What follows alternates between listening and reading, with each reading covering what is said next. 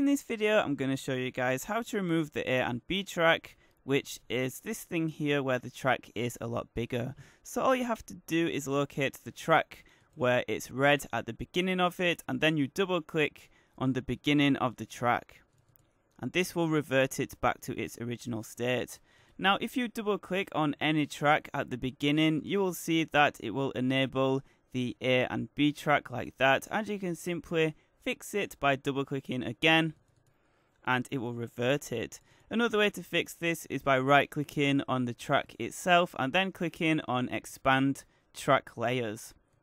And this will again revert the track to its original state. Thank you for watching guys. If this video helped, be sure to leave a like and a nice friendly comment. It lets me know that I helped you guys out and that would be awesome. So thank you for watching and I'll see you guys later.